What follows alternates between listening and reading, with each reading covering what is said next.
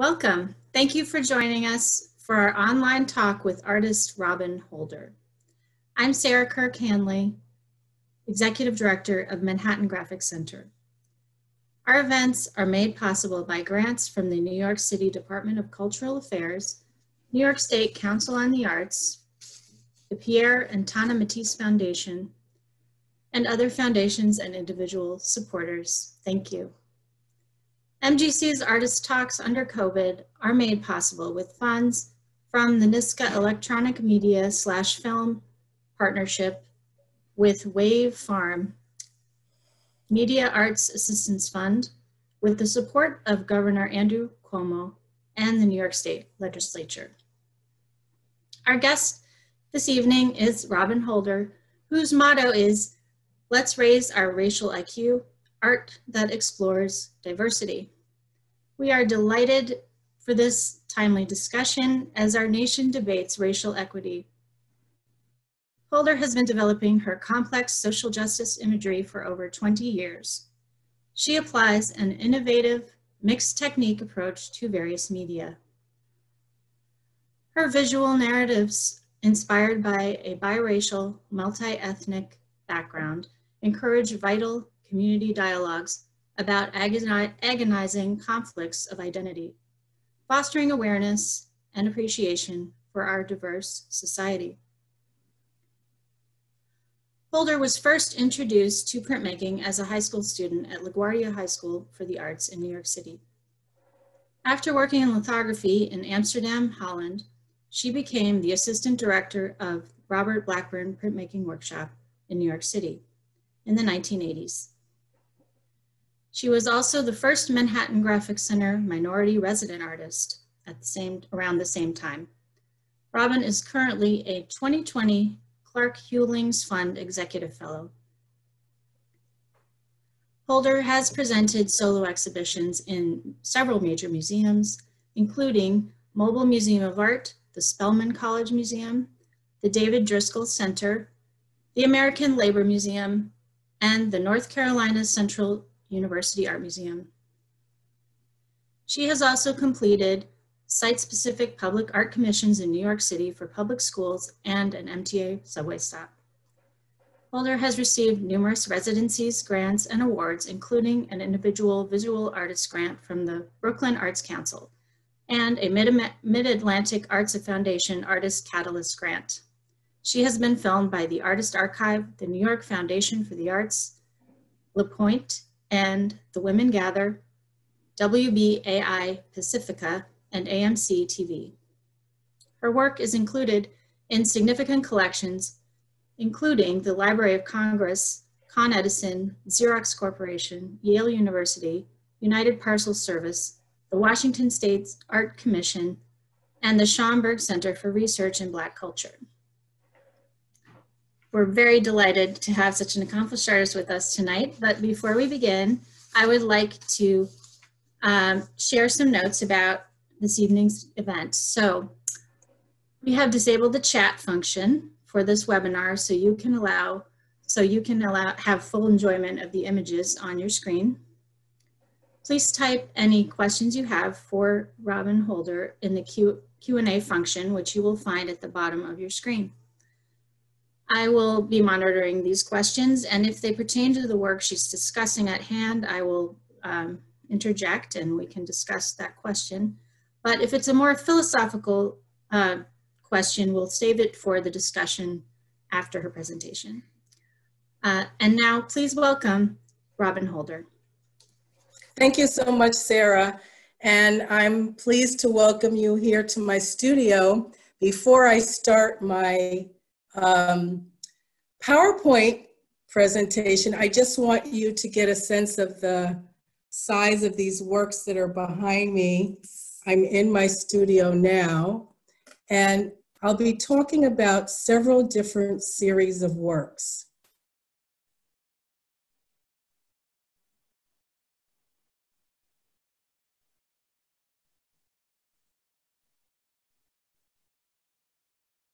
The works that I'm going to share with you are all uh, pieces that I've created since the late 1990s. Uh, I wanted to really focus on societal issues of inequity, identity, racism, and classism. And I also wanted to start incorporating text into my imagery. So the next few images were created on Arches Cover Black. Um, I used a combination of painting with lithographic inks, Hanchey litho inks, mixed with Winsor oil paints on plexiglass and surface rolling stencils that I cut out of acetate. It was a thin acetate actually that is used for theater scrims. So it's easy to cut with a knife, with a pair of scissors, and to ink and resisted all of the solvents that I was using at the time, which was Lithotine.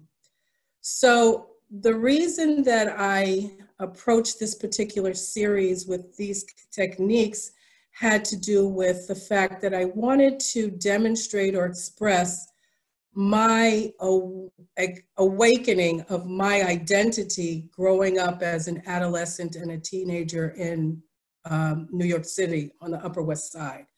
And I wanted to um, show that my life or my thinking, as many people's is, is compartmentalized. And so this is um, speaking to the fact that many children of color, many immigrant children, many children of marginalized families and communities grow up with an understanding that there is an aspect of violence um, or discrimination that is in action, ineffective during and while they are living. So here we're seeing playing and it's in color. So this is sort of highlighting the activity of the moment, my life as a, as a youngster. And then these side panels are in black and white. This is another one um, that has to do with all of my social activity pretty much in high school had to do with demonstrating. I grew up in the mid and late 1960s. So this is joining demonstrations and here you see the good guys and here you see the bad guys. This is done with, again, painting on plexiglass, printing on Arches Cover Black, and then using some plastic stencils that were surface rolled on top. In addition, on top of here, there are some um, Caran d'Ache markings directly on the paper. Here again, the compartmentalization of thinking or awareness or understanding as a child. Um, I come from a biracial background. Um, and this is speaking to the Jewish aspect of my identity. And again, here these shapes, each shape is surface rolled and inked, printed directly um, onto the paper. And these are painted elements with, again, surface rolled inked stencils. This one has a lot. Can I just ask a quick yes. question? Mm -hmm. um, is this the uh, What's Black and White series? Yeah, this these okay. are What's Black and White and Red All Over, question mark, an African American Russian Jewish Red Diaper Baby. That was the series. It's a, a grouping of about 30 works. And here are iconic uh, images More of quick my question. Sorry. Yeah, when when was problem. that? Go ahead, uh, when when did you work on it? What what are the These dates? are from the 1966, 1967. Okay. yeah, Um, 1968, ni- yeah, 1966 to, I'm, I'm sorry, 1996 to Okay. 1999. okay. Thank These you. works, yeah, okay, not a problem. Sorry to So interrupt. this is, this again is speaking to um, um, I was always one of a very few brown-skinned children in class because I was in accelerated academic classes in um, actually PS 166 in Manhattan on 89th Street and junior high school 44 on 77th Street. But this feeling like you're one or the only one, one of a few or the only one really impacted me very strongly.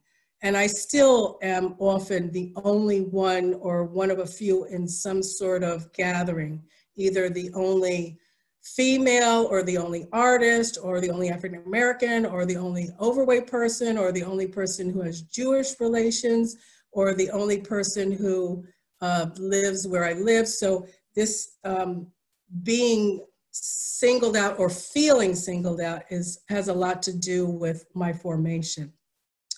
The next few works are from a group of pieces that I developed, and they're about 20 of them that are um, a series called Outsourced. And I try to decide on a specific technique or series of techniques for each group of pieces that I explore because I want to, first of all, keep fresh and challenging myself and because I want to have the techniques and the materials really resonate with the content of the imagery. This is about um, child slave labor. This is about outsourcing and the um, impact that outsourcing has on the loss of our middle class life in the United States and the dynamic conflict that it has um, really presented worldwide in terms of global economics.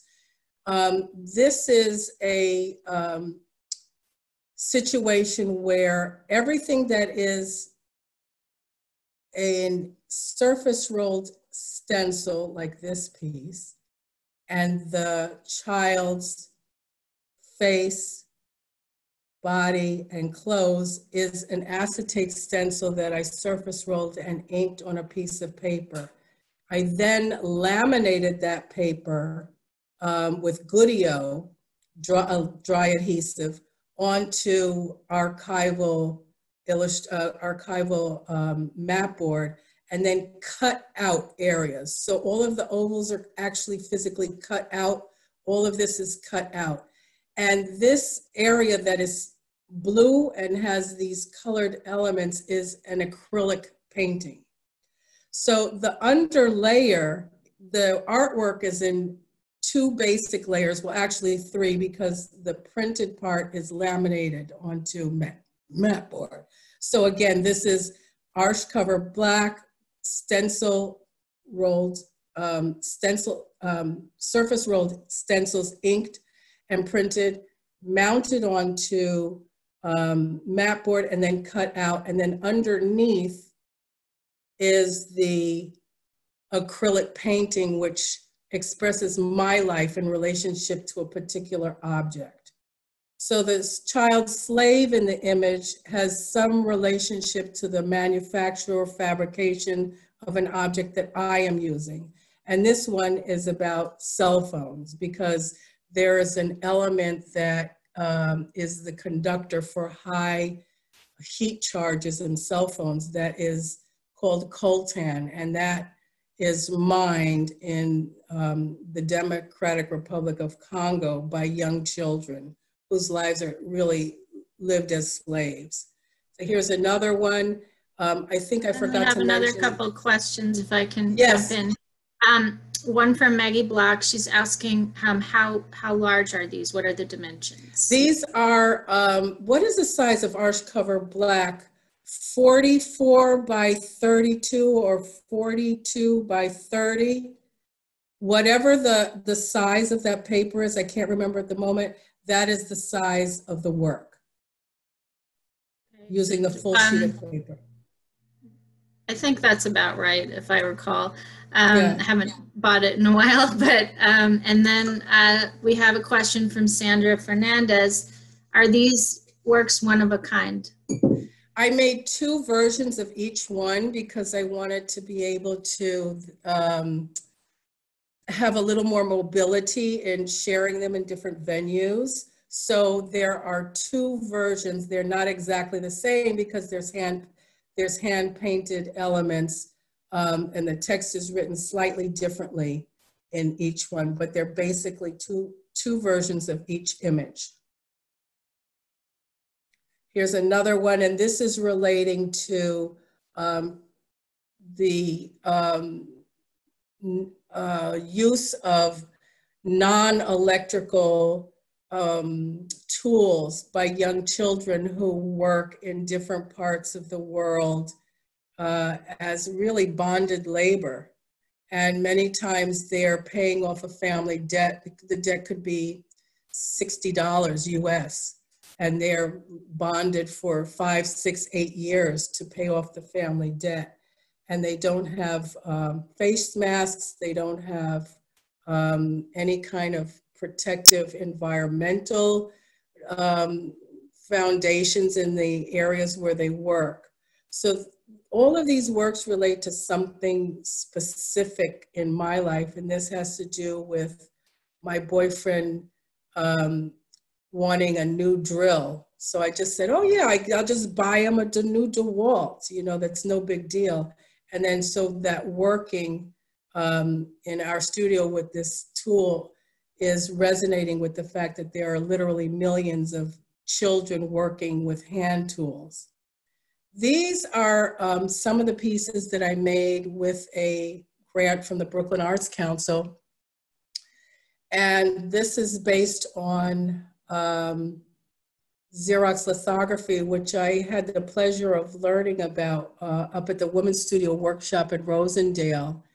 And I am using the image of building or um, window, doorway uh, for the first time with this series. And this is called Behind Each Window a Voice. And I collected the life stories of eight very specific different neighbors of mine in Greenpoint, Brooklyn. And I'm juxtaposing different um, aspects of their conflicts, uh, class, race, religion, um, nationality, coming to New York specifically from their countries of origin. So these are cutout areas. Some have um, partial cutouts that are flaps or open and close, and these are all elements from the testimonies that I collected from the people that I worked with.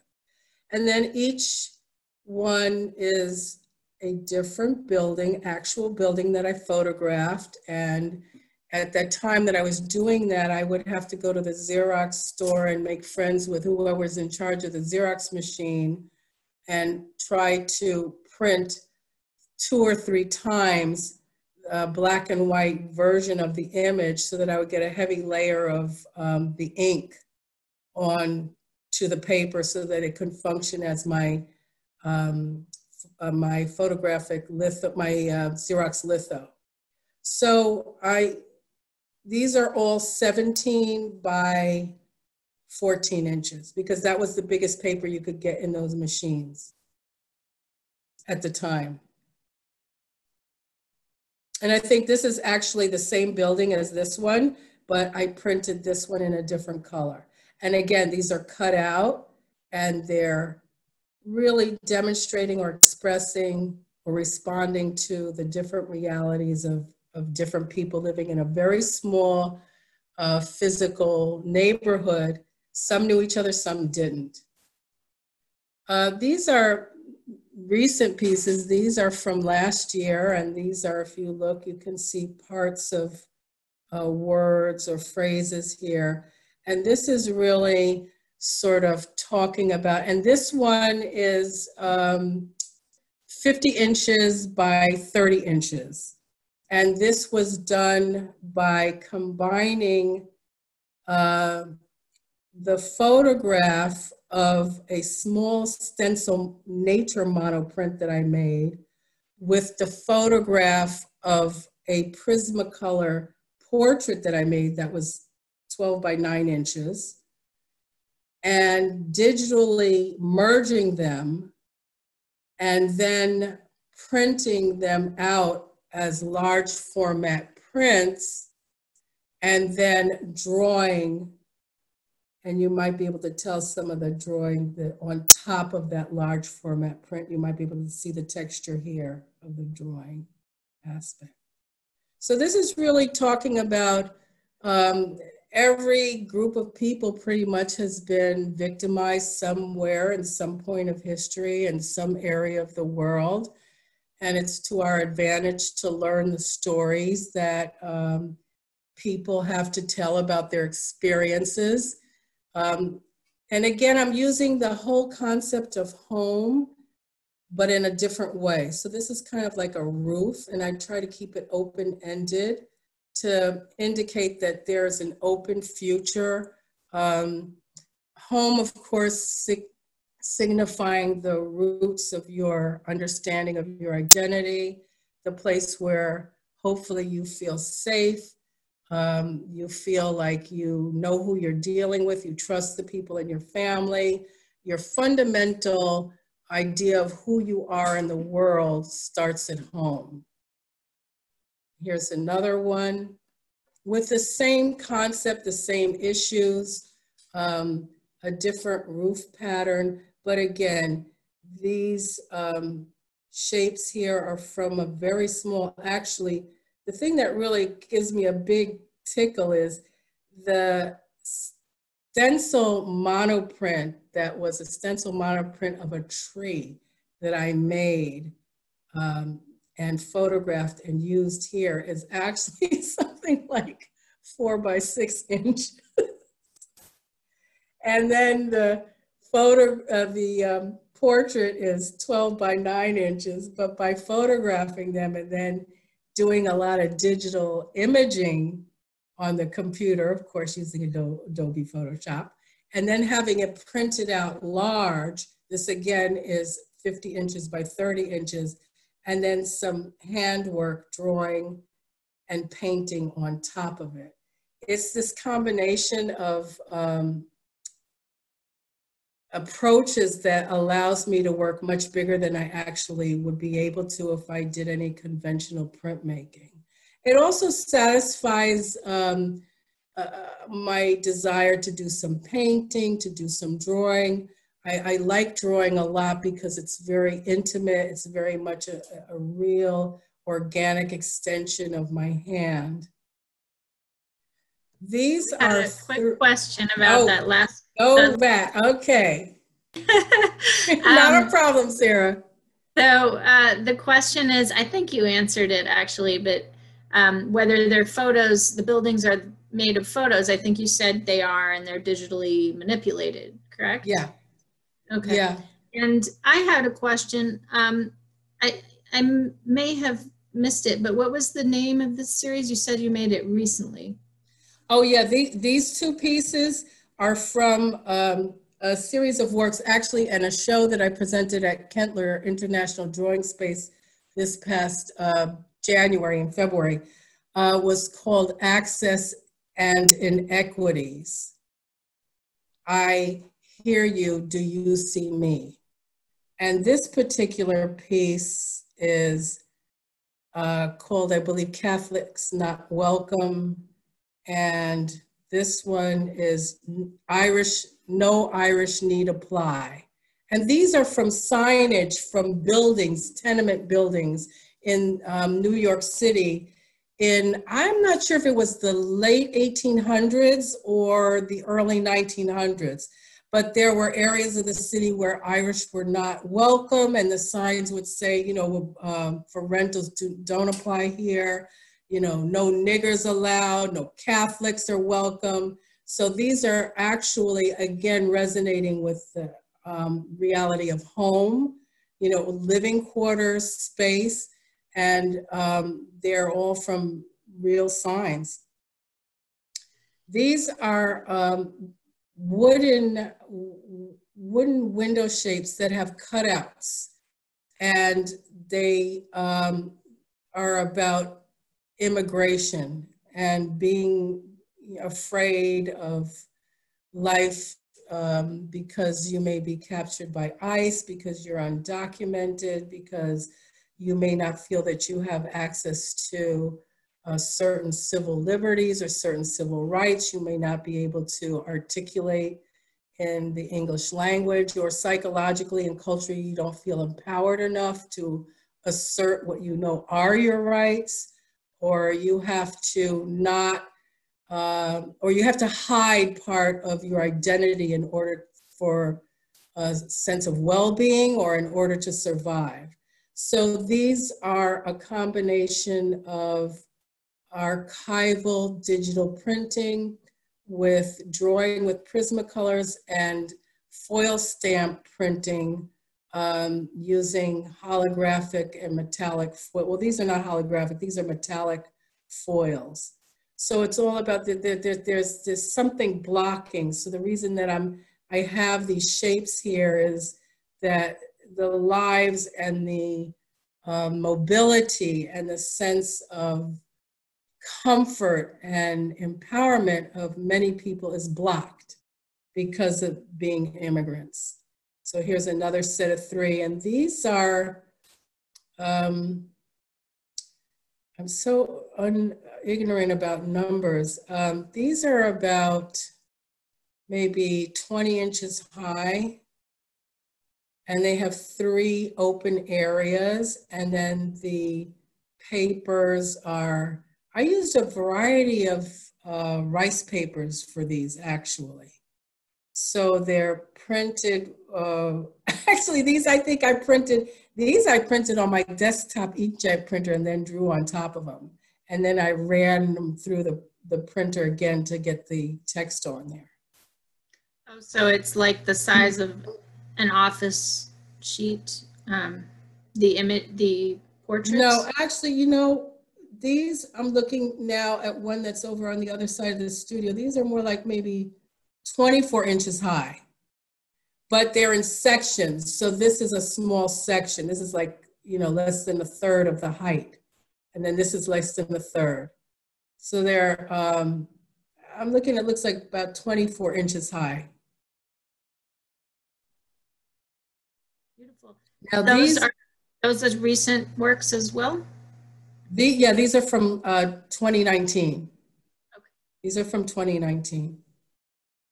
And these are um, from the series that I kind of go back to periodically called um, USA, the United States of Anxiety.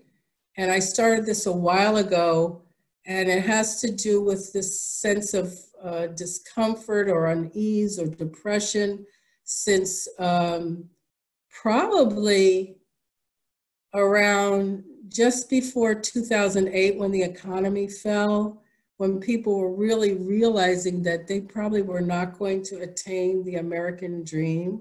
And these are free form pieces that are um, about, they range from 36 inches high to 46 inches high, and they're free form and they're laminated on archival foam core.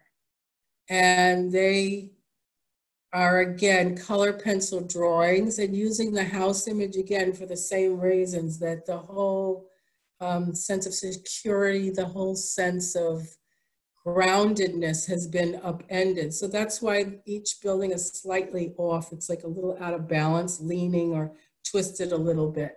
And this is again colored pencil with um, a combination of digitally imaging uh, parts of former prints that I made, uh, abstract prints with images, like here's a window that I manipulated, had printed out as large format prints and then drew on, most of them I drew on top of them and some have some foil stamped elements on them. So this is, um, the title of this one is Equal Under the Law with a question mark, and I think that's kind of self-explanatory, um, considering the really large uh, societal acknowledgement of the murder of African American and brown skinned men. And this is um, called Separation border crossing. So I think that's pretty evident what this is about. Um, immigrants in Mexico crossing the border. So it's something that's kind of really, um, really jolting to me is this figure of this beautiful house with this horribly anxiety ridden face. Um, it was the face of a young girl, so I hope that it expresses youth too. And just to think that somebody that young would have that kind of uh, horrific anxiety is, is very, very, very troubling. So again, this kind of sense of being depressed or not quite sure how to proceed from here. Um, I think many or most uh, what we would consider middle class Americans are finding that everything that was expected was to be able to have higher education, take care of your aging parents, give your children a good um, education, have affordable housing and transportation, and healthcare is kind of eroded by at this point. So this is really speaking to that reality that many of us are experiencing, um, that it's just almost um, impossible for millions and millions of Americans to really grasp how they can proceed on any level of prosperity at this point. So that's the end of the of the PowerPoint. Well, uh, I was holding back the tears there. It's very powerful work, uh, really intense. Uh, you, you deal with these complex societal issues so well. Um, we, I do have some questions for you um, to discuss. Um, we'll just start off with more general questions and get to the more um, physical, the meaty questions about uh, how your work addresses our societal uh, complexities of the moment. Um, so just um, one thing I noticed when I first started working with you is you prefer not to capitalize your name. And I just wanted to hear more about that decision.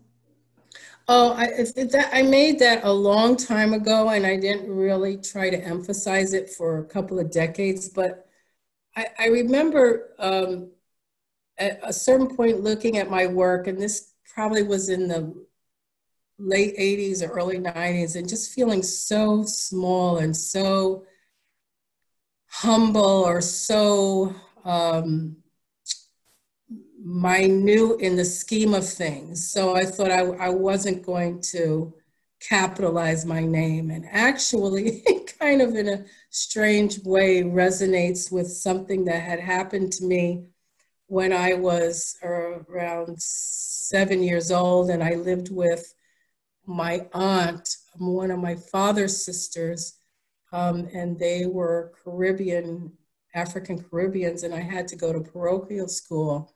And I was failing religion all the time.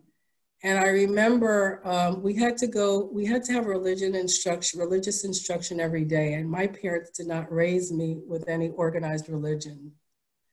And um, they kept saying that we had to spell God with a capital G. And I kept questioning that and asking, you know, like, well, I don't know who this father is that you keep telling me about this father. That's really not my father's name. And I don't know why I have to use a capital G. And they just kept saying, because he's grand, because God is He, is He, He's grand, He's greater than us. And I kept saying, you know, well, I don't know, because could it be a lady? Why does God have to be a man? so I remembered that when I was you know, saying to myself, I mean, who am I to have a capital R and a capital H? I'll just, you know, have a small R and a small H. And I remembered, you know, thinking that I had as a very young child about the capital capitalization of the word G-O-D. That's, um, I remember that having that moment as a child also wondering. Did you? um, but I, this is not about me, but I can relate is all I'm, I'm saying. Um, so I also, we noticed in your presentation that um, you use so many different techniques and layers and your to build up this rich imagery. Uh, Can you talk more about how you developed that unique approach as an artist, your development as, you know, a young artist, how this evolved? Yeah, um, well, I studied conventional etching for probably one semester in high school at Music and Art at LaGuardia School for the Arts. And I realized then that there was a lot of technical procedure that I would need to work through in order to get a result for of my image. And then I did some lithography in Amsterdam and again, it was very process oriented. And I just kept feeling that as I was developing the images, this was stone lithography, as I was developing the images on the stone, my ideas kept changing, or what I wanted to visually articulate kept changing. So it took me uh, about 10 or 15 years, but I finally realized what, what I needed to do was to just pick and choose um, the techniques that really resonated with me and combine them in a way that made sense to me. So if I wanted to have something that was um, kind of uh, painterly, that I could actually paint and I could have that with stencils. And the stencils that I have, I have thousands of them, thousands of them.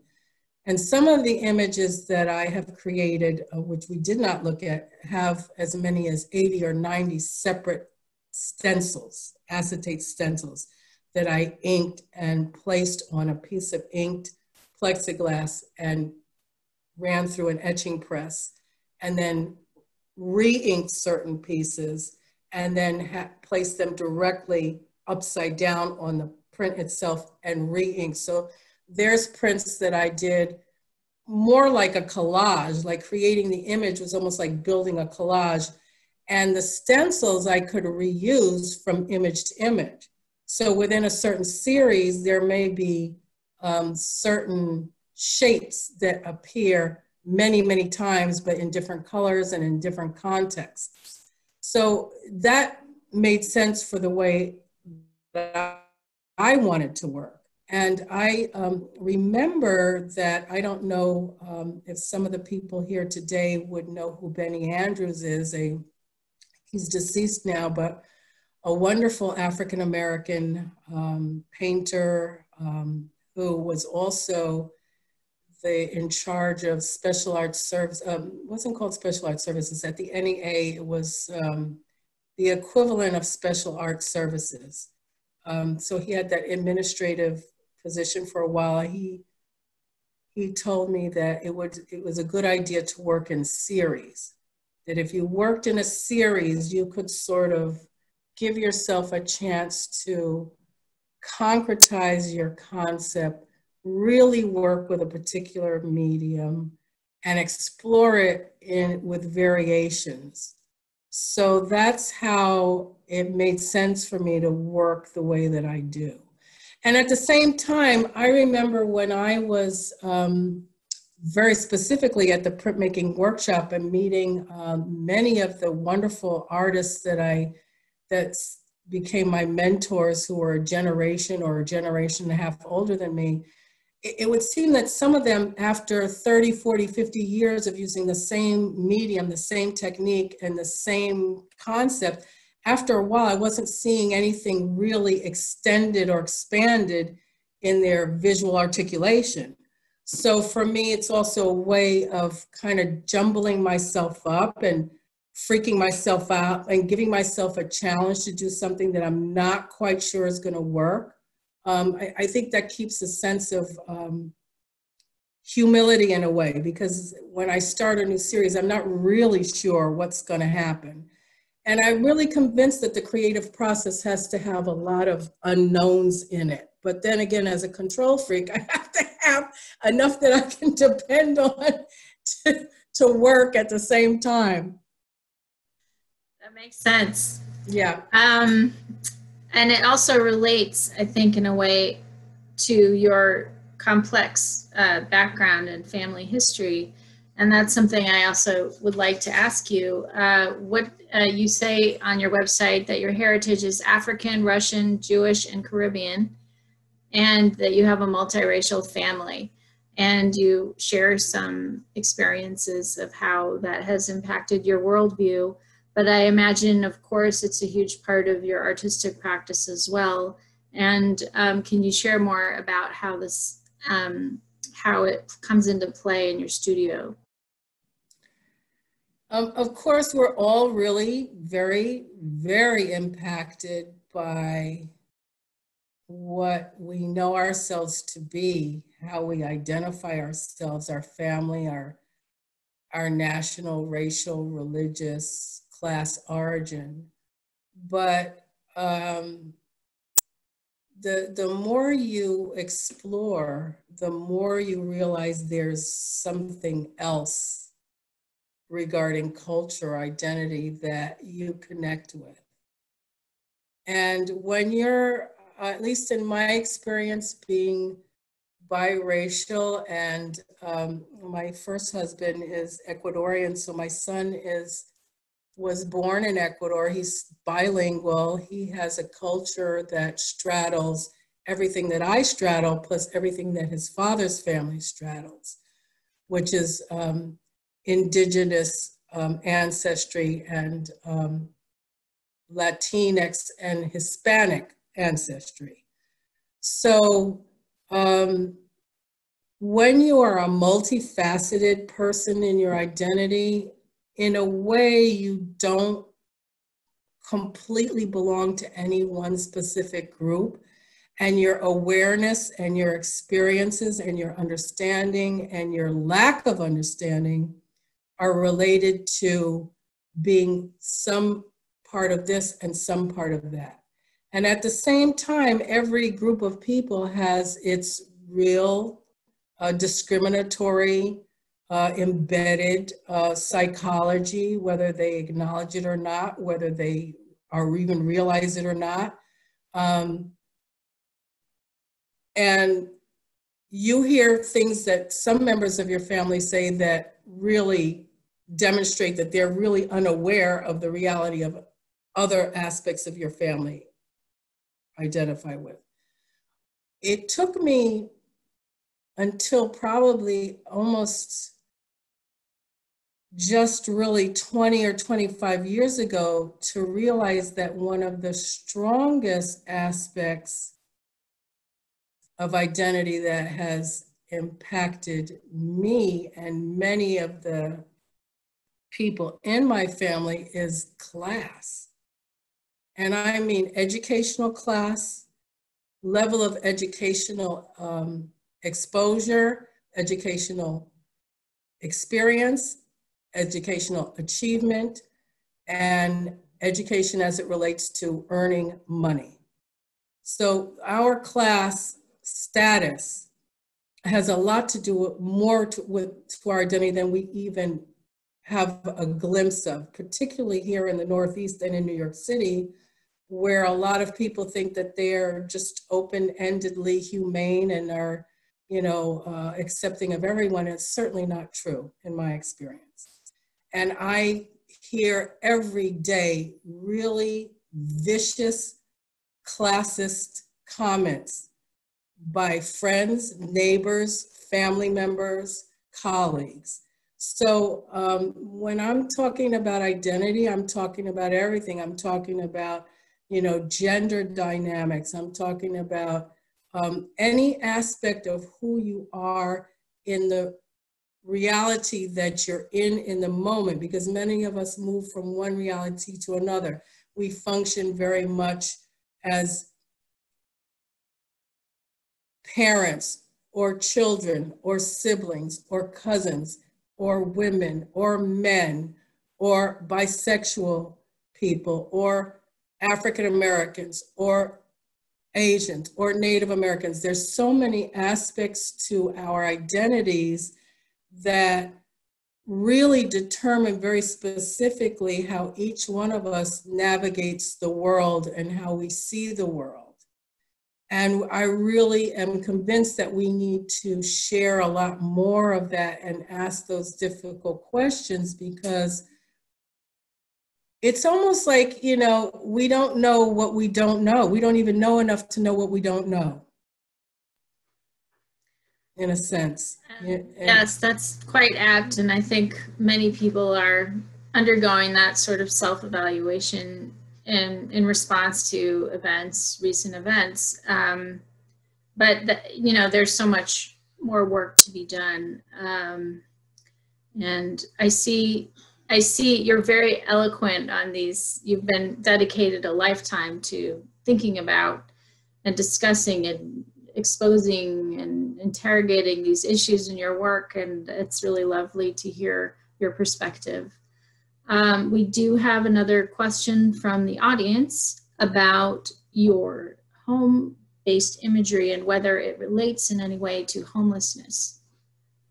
Um, yes, it does. And actually, that I'm so thankful for that question because I had a really um, very uh, powerful experience working in a homeless shelter for I think it was three years, um, once a week, uh, for maybe 12 weeks every year, and learning about some of the dynamics. I was doing an arts and education program in a homeless shelter that was like just a block or two away from LaGuardia Airport.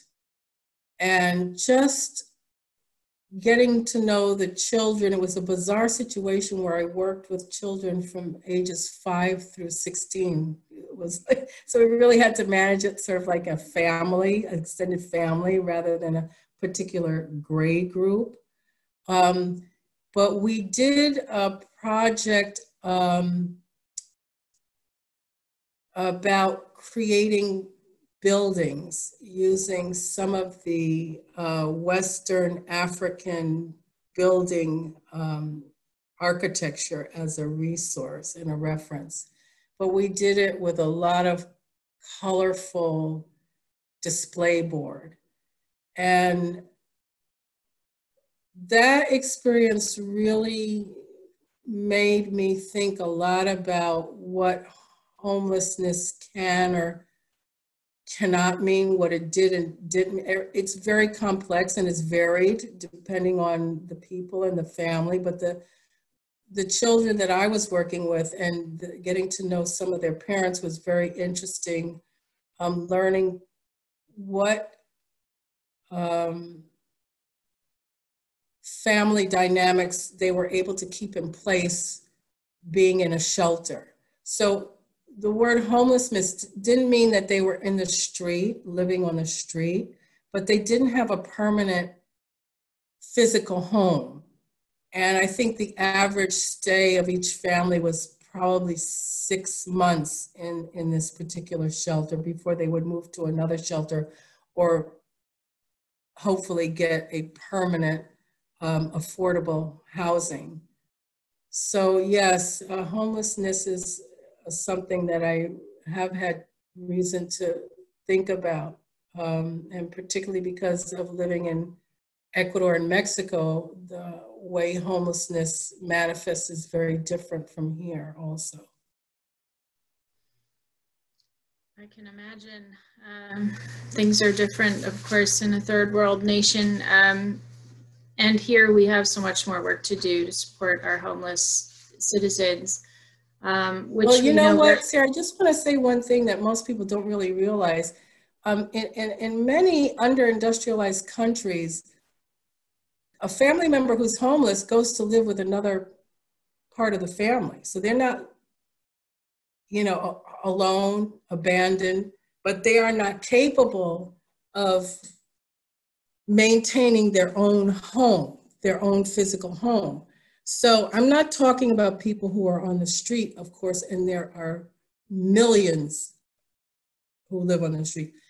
But on another level, and we're probably seeing this now with the pandemic and with the economic situation, is that um, many people are returning home, whatever that means, to live with their families because they can't afford to live in an urban center where they were or on the university or wherever they were because they just can't afford it. So homelessness can mean many different things in many different uh, scenarios and realities. Yes, um, I And so how does that tie in with your choice of, of imagery? Because I've used uh, some reference to house structures or homes or windows or doorways in several different series. And I try to change the way that I'm using that reference to home. And of course, for me, the structure or the visual um, relationship to home really has to do with identity, self, family, tribe, community, neighborhood, nationality, and so on and so forth. Thank you. Uh, there's one last question. Um, if we don't have any more, if you have any questions for Robin, uh, please put them in the uh, Q&A function. But I have one last question for you. Um, in a recent interview on Artsy Shark, you discussed your first responders series in terms of a divide among economic classes and races in their experience of the pandemic, saying, stating, quote, highly educated and privileged citizens have a distinct advantage. These people can leave the city and have a better chance of surviving. They have the ability to remove themselves from risk while continuing to function professionally in a digital world. They have the resources to isolate and comfort. It makes for a very different dynamic than waking up with six people in a four room apartment. What kind of stress does this place on a family? End quote. Can you elaborate on how these thoughts informed your selection of Im imagery and layering in your uh, recent series, uh, we're, we're in it together? Um, In the images that I've created about the current pandemic, I haven't really visually articulated any kind of class difference so much as racial and ethnic difference. But behind the faces, and these two pieces behind me are from that series. So you can see that there are faces inside of bodies. So it's really about um, that we are connected and we have really to a large degree forgotten that. And I think it's a, it's probably a manifestation of one of the characteristics of Americans, number one, because Americans uh, pride, we pride ourselves on being independent and individualistic and um, making our own way, so to speak. And we are known worldwide eh, for that in positive ways. But the negative aspect of that is being isolated and losing your sense of understanding of what your um, other people in your community are experiencing, your neighbors, your friends, your colleagues. Um, you, we really don't know what a lot of people are dealing with. And that was really the point of that series that I did with those Greenpoint Brooklyn houses with these, these windows is that every floor there's a family or two families and you don't have no idea of what, what they're going through, what they're dealing with, what their experience is. So just these layering of the faces on the bodies of people and the, the larger bodies in the series are all first responders. So on this side is a supermarket clerk. And I really kind of did this um, thinking of a neighbor of mine near my studio who uh, works at Costco. And then this is a radiologist and um, just putting these faces on top of the bodies and having them be some sort of different color or feature so that you get an idea of this is a mixture, a diversity of layering of people um, really to just say we're all connected. We all have something to do with each other. Um, I think all of these issues are have um, history to them. This is nothing new. It's just that it's more apparent now, and people are more willing to look at it and discuss it, and hopefully brainstorm solutions to it at this particular moment. And it doesn't mean that these are only problems um, here in the United States. These are problems worldwide. So we really have to think um, about how we can maintain our own sense of self and at the same time plan for the well-being of the group. Yes, I, um, I think it's been a very isolating, generally past few decades um, with social media and now especially the COVID pandemic. Uh, we've really lost our connection to each other and um, I think that your work really shows us, reminds us um, that we are all in it together. And uh, we hope that these artist talks are helping to connect people. We do have one more question um, from Chris Short. He really enjoys your uh, book series, Our Social Skin, and wonders if you could speak about it a little bit. Um, oh yeah, those are, um, oh, those are a series that I created um, because I was waitlisted for a Smithsonian grant. and I put so much work into submitting my proposal, I decided to go through with it anyway. I didn't get the, the grant, the residency. But um, I created um, a handmade book in an edition of five for each of the 10 federal holidays. And so each of the um, holidays is represented by um, a garment that relates to that holiday. So um, the garment, the, they, they're open and close in many different ways, unusual ways, and they're um, visible on my website. Um, and I was trying to reveal and um, express conflicts having to do with each holiday. So, for example, Christmas is like I could bring them up on the screen on from your website. I, I don't know if you want to do that. I, I, don't think we have time to do that right now, but Christmas is in the shape of onesies, pajamas, like little kids wear the one, the, the little flannel ones pajamas, and the flaps say, you know, how much money would Jesus spend on Christmas? so it's kind of pointing out the commercialization of Christmas, which is supposed to be the most revered spiritual holiday, but each holiday um, uh, really has, I learned a lot of our history. I learned a lot about how some of these holidays became holidays.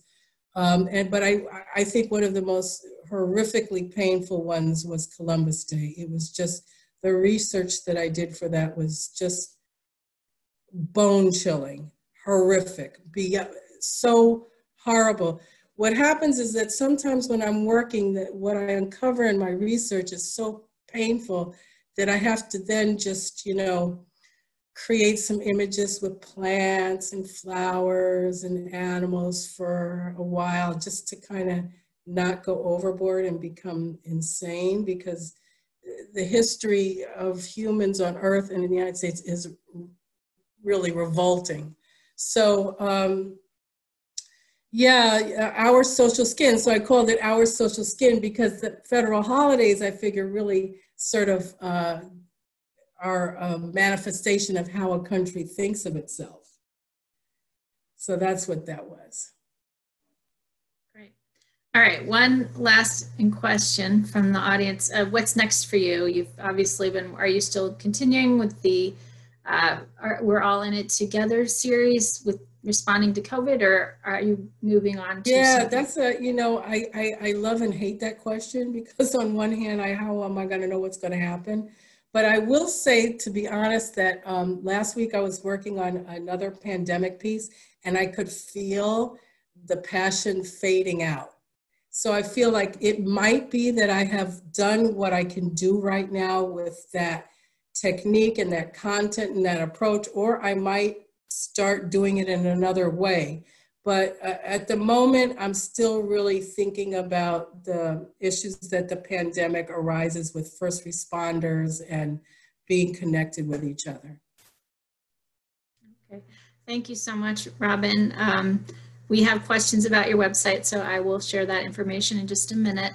I just would like to thank you so much for your insightful and uh, very uh, timely comments today. I, I know that these issues have been existing for centuries, but we're all more open to uh, really thinking about it, I think, um, these days. And your work is really resonating, I'm sure. I, I'm hearing, I'm seeing the comments come in.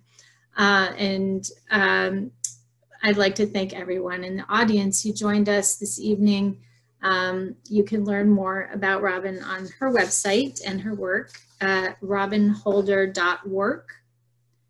And you could follow her on Instagram, which is at creative, the number three, intention, or Facebook at Robin Holder Me. And uh, all of that is also on the original Artist Talk um, sign up page on our website. So you can go to our website and find this Artist Talk to, to look that up as well. We hope you will join us for our next artist talk on Wednesday, October 28th at 5 p.m. with Jennifer Mack Watkins. This will be the second talk in our series of speakers from Black Women of Print. And um, we will have uh, six in total. So uh, we hope you'll join us for those on a monthly basis through next March. To be informed about the details of our artist talks, please join MGC's mailing list on our website uh, or follow us on Facebook or Instagram at Manhattan Graphics Center. Have a great night, everyone. Thank you. Thank you, Robin. Bye.